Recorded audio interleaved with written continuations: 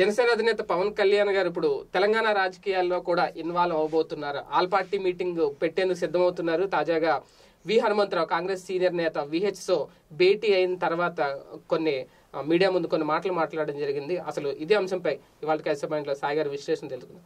Sir అసలు ఊహించలేదు. సడన్గా పవన్ కళ్యాణ్ గారి పక్కన విహెచ్ గారు వచ్చి కూర్చుంటారు అని కాంగ్రెస్ సీనియర్ నేత యురేనియం తవ్వకాల మీద ఆయన మాట్లాడడం జరిగింది. ఆల్ పార్టీ మీటింగ్ కూడా పెడతా ఉంటున్నారు. అంటే తెలంగాణ రాజకీయాల్లో పవన్ కళ్యాణ్ గారు కూడా ఇంకా యాక్టివ్గా ఒక పాత్ర పోషించబోతున్నారు అనుకోవాలా? ఇక్కడ రెండు పాయింట్స్ ఉన్నది. ఒకటి తెలంగాణలో మీటింగ్ జరిగింది కానీ ఉమ్, వ్యవహారం ఆంధ్రాది. అంటే నల్లమల నల్లమలలో యురేనియం. నల్లమల అంతా మాక్సిమం ఉందంతా ఆంధ్రాలోనే కదా. ఇక్కడ లిటిల్ బిట్ మహబూబ్ నగర్ ఆ రూట్లో కొంచెం ఉంటుంది. మొత్తం అంతా కూడా నల్లమల అంతా కూడా అక్కడ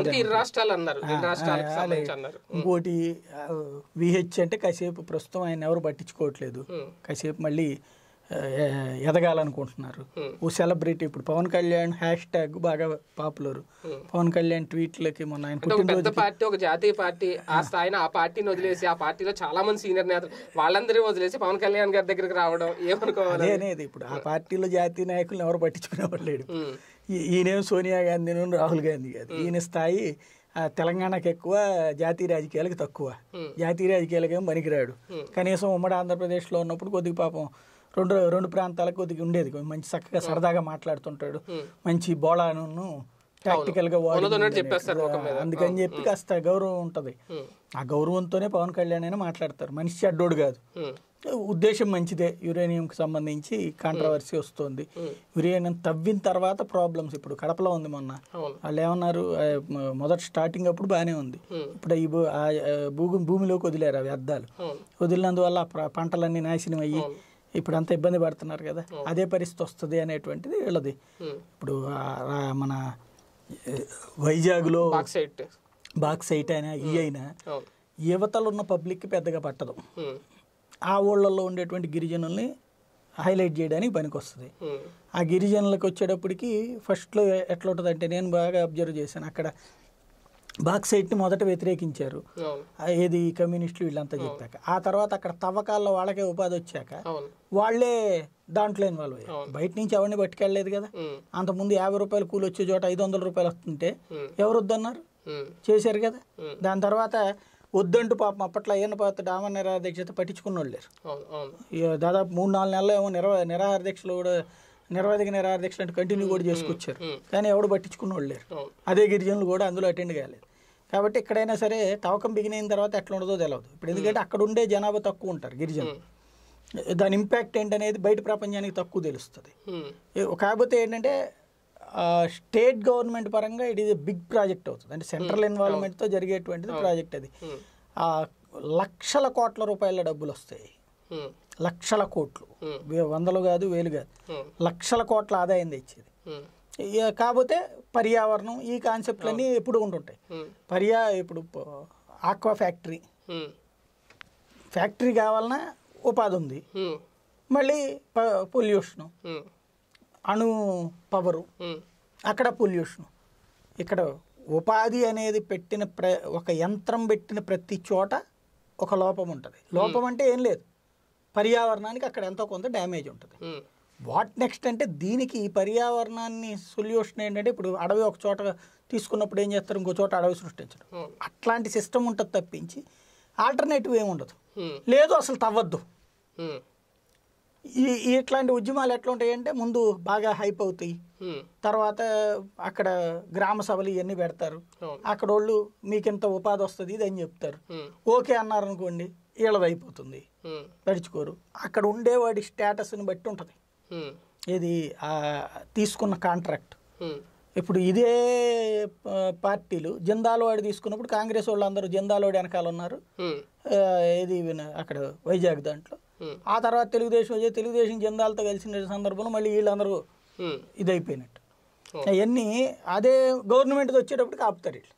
అక్కడ అన్ని ఫ్యాక్టరీదైనా అవును, ఎక్కడిదైనా. ప్రభుత్వం అదే ప్రైవేట్ వాళ్ళు వచ్చేటప్పుడు కాస్త మేనేజ్ చేస్తారు అంతా తల కొంచెం కొంచెం ఇచ్చి. అప్పుడు పర్యావరణం మర్చిపోతారు మళ్ళీ. ఇప్పుడు ఆక్వా ఫ్యాక్టరీ పెట్టినప్పుడు ఎవరిని ఆపారేంటి? తర్వాత కొన్ని రోజులు అయిన తర్వాత మళ్ళీ గొడవలకు దిగుతుంటారు. ఇవన్నీ కాబట్టి ఇక్కడ యురేనియం తవ్వకం అనేది బిగిన్ చేస్తే సాధారణంగా దాన్ని ఆ స్టాండర్డ్స్ ప్రకారం అంతర్జాతీయ నామ్స్ ప్రకారం గనక అది తవ్వితే బాగానే ఉంటుంది. అలా తవ్వాలని దిగుతారు. తేడాలు వస్తే చాలా వరకు ఆరోగ్య సమస్యలు వస్తాయి పర్యావరణ సమస్యలు వస్తాయి. ఇది కావాలా వద్దా అనేది సాధారణ ప్రజలకి అర్థం కాదు.